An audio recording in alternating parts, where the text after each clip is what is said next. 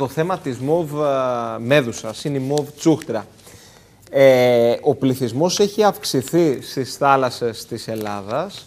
Μάλιστα υπάρχει και ένας διαδραστικός χάρτης μέσα από τον οποίο βλέπουμε ε, που καταγράφεται η, παρουσία τους. Μάλλον που έχει καταγραφεί η παρουσία τους. Και αυτό γίνεται από απλού πολίτες, οι οποίοι με το που εντοπίσουν κάποιο. Από το Γενάρη, συγγνώμη, σε διακόπτω του 22 μέχρι και σήμερα, μέχρι και το Μάιο. Ακριβώς.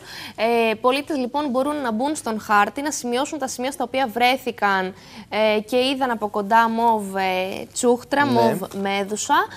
Ε, με κόκκινο λοιπόν σημείο. Βλέπουμε και στην Κρήτη ότι έχουμε ε, στα πέριξ του νησιού, δηλαδή και βόρεια και νότια και ανατολικά και δυτικά. Είναι ένα φαινόμενο το οποίο έχει εξαρθεί το τελευταίο χρονικό διάστημα και πολλοί κάνουν λόγο και για τις ελληνικές θάλασσες ε, εν ώψη καλοκαιριού. Τι θα πρέπει να κάνουμε, πώς θα πρέπει να προστατευτούμε. Λοιπόν, πάμε στον κύριο ε, Χρήστο. Τακλή. Είναι ο διαχειριστής του Ελληνικού Παρατηρητηρίου Βιοπικιλότητας. Μάλιστα, να μας πει περισσότερα. Κύριε Τακλή, την καλησπέρα μας από Κρήτη. Καλησπέρα σας. Να σας ευχαριστήσουμε πολύ έτσι για να καταλάβουμε λίγο πώς λειτουργεί αυτός ο διαδραστικός χάρτης. Όποιος λουόμενος επιθυμεί μπορεί να πάει να καταγράψει την εμπειρία του και ταυτόχρονα το σημείο στο οποίο βρέθηκε. Ε, ναι, δεν είναι μόνο ένας χάρτης, είναι μια ολόκληρη πλατφόρμα από πίσω, παγκόσμια, η οποία έχει δημιουργηθεί από κάποιους φοιτητές ενός πανεπιστημίου της Αμερικής και υποστηρίζει μεγάλους οργανισμούς όπως το National Geographic και κάθε πολίτης μπορεί να πάρει, να κατεβάσει στο κινητό ή να μπει μέσα από την ιστοσελίδα της στο iNaturalist.org και να βάλει καταγραφές που αφορούν τη βιοπικιλότητα γενικά και φυτά και ζώα, ό,τι βρουν από μια κατσαρίδα, από ένα μυρμήγκι, μια πεταλούδα, οτιδήποτε και μέδους εννοείται. Η αύξηση ε, του πληθυσμού ή μάλλον το βασικό συμπέρασμα το οποίο προκύπτει αναφορικά με την αύξηση του πληθυσμού της Μόβου Τσούχτρας Μέδουσας, πού οφείλεται, έχουμε καταλήξει κάπου. Ε, είναι μια φυσική έξαρση που ξεκίνησε τον Οκτώβριο του 2020, είδαμε τα, τις πρώτες εμφανίσεις της Μόβ Μέδουσας. Από πύλιο και σποράδες φαίνεται να ξεκίνησε, κάπου ανοιχτά τέλος πάντων στη θάλασσα και εξαπλώθηκε πια σε όλη τη Μεσόγειο φέτος. Κύριε Τακλή, το φαινόμενο έτσι της ε, μοβ σας συναντάτε σε ριχά νερά ή σε πιο βαθιά, δηλαδή λουόμενοι θα πρέπει να έχουμε στο νου μας, πού κολυμπάμε, τι έχουμε δίπλα μας. Πρέπει να είμαστε έτσι κάπως ε, ε, προσεκτικοί κατά τη διάρκεια της κολύμβησης.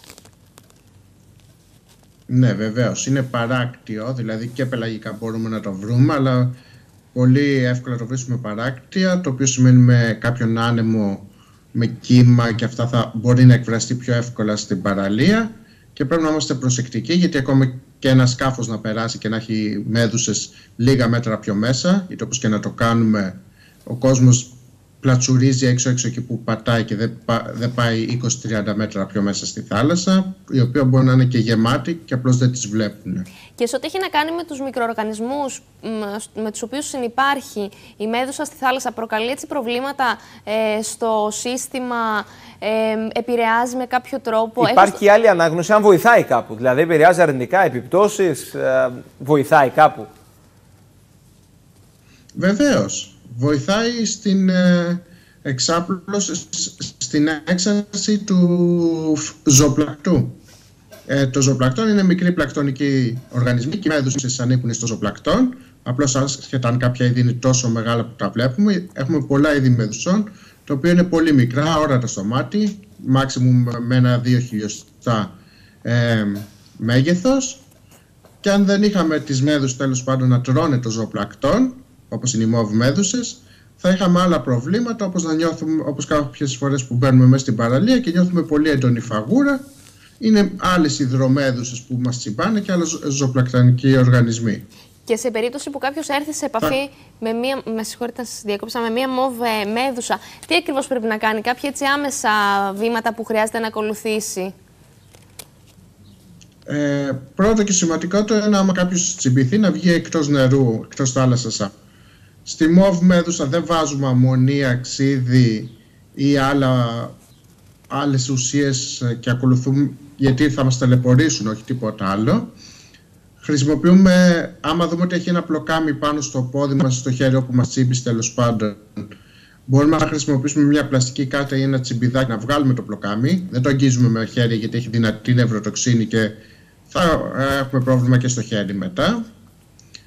Βάζουμε λίγο μαγειρική σόδα με θαλασσινό νερό, όχι γλυκό νερό, γιατί το γλυκό νερό ε, ενεργοποιεί και τα υπόλοιπα, τις υπόλοιπες άκανθες ε, για να έχει περισσότερο, να απελευθερώσει περισσότερο νευροτοξίνη, κάτι το οποίο δεν θέλουμε. Μπορούμε να χρησιμοποιήσουμε λίγο πάγο ή ένα κρύο μπουκάλι νερό για ανακούφιση και βάζουμε μία, ε, μία κοτριζονούχα κρέμα όπως παραδείγματος χάρη φουσικότ ή ένα, ε, παίρνουμε ένα αντισταμινικό χάπι. Μάλιστα, μάλιστα. Λοιπόν, όπως και να έχει είναι ένα φαινόμενο βέβαια, ένα φυσικό φαινόμενο, έτσι δεν είναι. Ε, θα πρέπει να ναι, μάθουμε ναι. να ζούμε και να επιπλέουμε με τις μοβ μέδουσες, να είμαστε προσεκτικοί και σε περίπτωση που έρθει και αυτή η επαφή, καλό είναι να μην έρθει, αλλά αν έρθει να είμαστε προετοιμασμένοι και να απευθυνθούμε και στους ειδικούς. Αυτό καταλαβαίνω εγώ κύριε Τακλή. Ναι, ναι, δεν χρειάζεται πανικός, δεν χρειάζεται κάτι. Θα δούμε από του χρόνου μια μεγάλη πτώση απότομη τουλάχιστον για το Αιγαίο. Μάλιστα. Και από εκεί πέρα λίγο υπομονή φέτος και να έχουμε ένα kit πρώτων βοηθειών καλού κακού μαζί μας στην παραλία. Να είστε καλά την καλησπέρα μας. Και εγώ σας ευχαριστώ πολύ. Λοιπόν, πάμε